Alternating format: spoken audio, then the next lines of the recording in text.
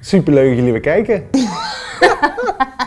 Zo'n grote bak met muesli. Sold. Jonathan en Nancy schreeuwen we dan naar elkaar. Hallo, wat leuk dat je weer kijkt naar een nieuwe aflevering van Let's Talk Love, waarin ik helemaal inzoom op de liefde.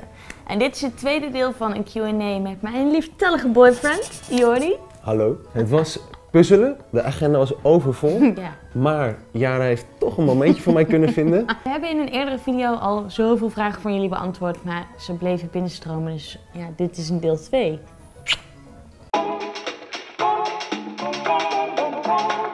Het is zo makkelijk om jou te laten lachen. Is wel waar. Ik lach echt om alles in principe. Tenzij je boos bent, lach je om niks. Dan maak ik soms alsnog hele goede grappen. Je helemaal nergens om. Maar we hebben wel echt een hele tijd heel hard gelachen om bizarre bijnamen. Waar we heel lang mee doorgingen. Als we een serie kijken, dan kiezen we een naam uit die serie die we dan tijd aan elkaar geven. En dan schreeuwen we bijvoorbeeld in de supermarkt die namen van Stranger Things. Jonathan en Nancy schreeuwen we dan naar elkaar. Jonathan! Want die vallen in zo'n gat. En dan worden ze opgeslurpt door een beest of zo. Oh, spoiler. Dat schreeuwen we dan naar elkaar. Dat is super grappig. Nancy! Deze video Absoluut. Eén. Ik denk wel dat we door de bergen in Zwitserland op de motor reden en dat, Oh. dat iemand gillend achterop zat. Oh, als je niet weet waar dit over gaat, check dan zeker even de vlog van onze motortrip. Oh. Waarbij we hadden bedacht dat het een goed idee was om in zeven dagen van en naar Italië te rijden door de bergen op een motor. Is een supergoed plan. Was mijn plan. Als je goed weer hebt. En we hadden gewoon pech met het goede weer. dat is wat best wel zwaar hoor. En het was gewoon pittig. Dat was wel pittig. Ja, maar, Maar toen was het heel erg lachen. ja, op een gegeven moment werd de ellende zo groot dat het echt grappig was. Het regende zo hard dat het helemaal door je motorpak, door je kleren tot aan je ondergoed was je gewoon doorweekt.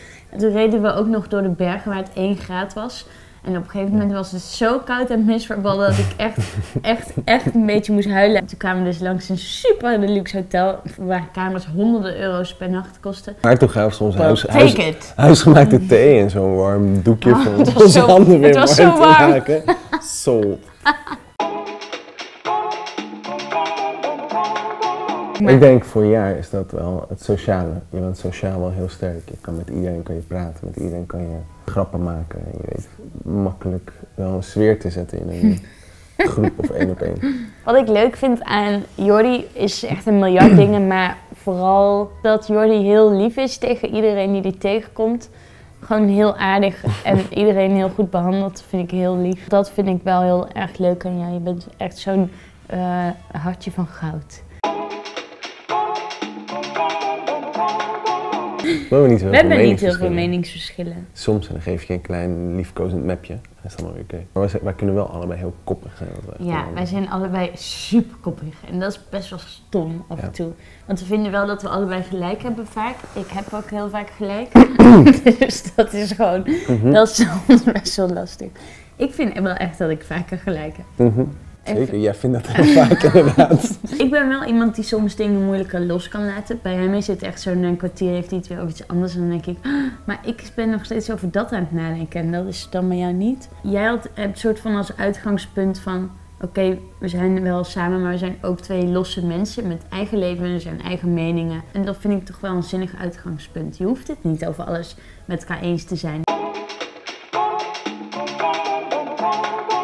Ik denk dat we ehm, over het algemeen wel positieve mensen zijn allebei. Ik, ik deed het wel eerder, maar we zijn allebei modeblogger. Dat, eh, dat bindt ons toch wel een beetje. Ja, die liefde van mode. Hè? Kijk naar dit truitje. Echt het eh, trendkleurtje van het moment. Hier weinig anders van maken.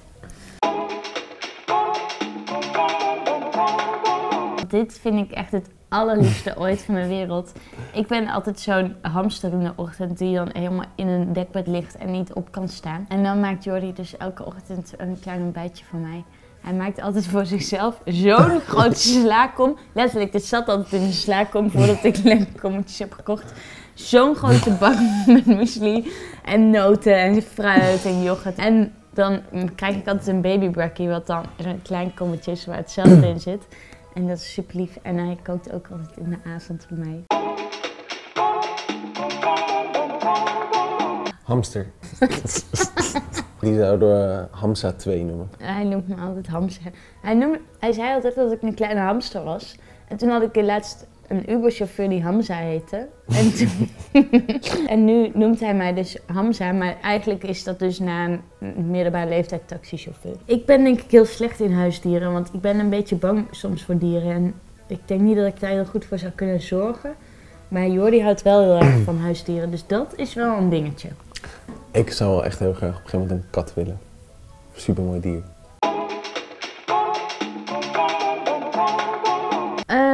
Soms wel, soms niet. we maken best wel goed tijd voor elkaar volgens mij. De ene, de ene moment wel beter dan de andere. Soms als het heel druk is en je hele lange dagen hebt, dan kun je pas s'avonds met elkaar afspreken. Of misschien net samen eten, maar vaak zien we elkaar dan pas heel laat. En dan ben je toch gewoon echt vet moe en heb je je- al je energie voor de dag eigenlijk al weggegeven. Soms hebben we het zoveel over onze agenda's en wat we Dat allemaal is aan het ook doen een periode geleden. De laatste tijd niet echt Ja, meer. laatst tijd Dat is niet zo hè. Alleen iedere keer Elke met elkaar dag. spraken. Ging Ja. het gewoon over agenda's. Wanneer ben jij in het buitenland, wanneer ben jij in het buitenland, Ja. kun je dan mee naar dat. Al jouw foto's krijg je sowieso een minimaal aantal likes. Dus die krijg je sowieso op de foto. Als jij er een persoon aan toevoegt, zijnde mijzelf, komen daar nog weer een paar extra duizend likes bij. Dat is logisch. Ik denk ehm, dat het vooral is dat mensen de liefde gewoon heel leuk vinden.